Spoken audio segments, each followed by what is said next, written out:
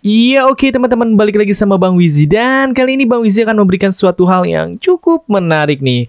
Mungkin di antara kalian sudah uh, mengenal yang namanya Liu Wei atau Da Wei ya teman-teman.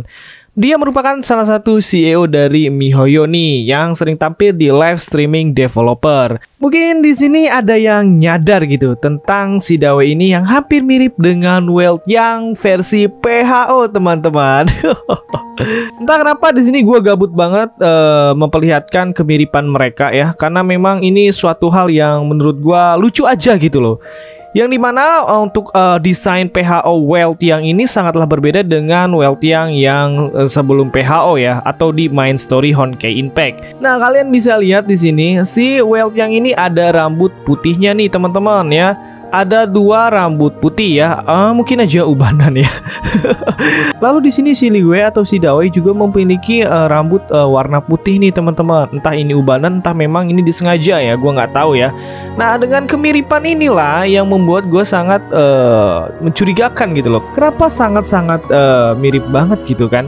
Lalu yang kedua yaitu Megane teman-teman ya si Welt yang ini pakai Megane dan si uh, Dawei juga pakai Megane. Ya memang sih walaupun gaya rambutnya berbeda ya Si Welt yang ini agak lebih panjang rambutnya Kalau si Dawe ini agak pendek. Nah satu lagi nih teman-teman. Mereka ini sama-sama pemimpin ya. Welt yang ini pemimpin anti entropi saat di main story. Kalau untuk di PHO nya sih dia katanya udah pensi nih. Udah nggak menjabat sebagai pemimpin lagi. Nah kalau untuk si Dawe ini ya pemimpin si Mihoyo ya atau CEO nya jadi mereka sama-sama pemimpin. Lalu yang kedua itu sifatnya teman-teman. Nah kalau untuk Welt yang dia sifatnya sangat baik ya, bahkan dia uh, berkorban demi orang lain. Begitu juga dengan si Dawei yang uh, notabene dulu tuh kalau nggak salah Mihoyo juga pernah menyumbang masker. Lalu juga dia membangun sekolah untuk anak-anak yang ada di sana. Pokoknya banyak banget bantuan-bantuan sosial uh, yang mereka berikan. Walaupun memang jarang tereksplos ya. Ya memang pada dasarnya si Li Wei ini atau Dao ini sering menyisipkan uh, karakter atau ikonik yang menyerupai dirinya ya.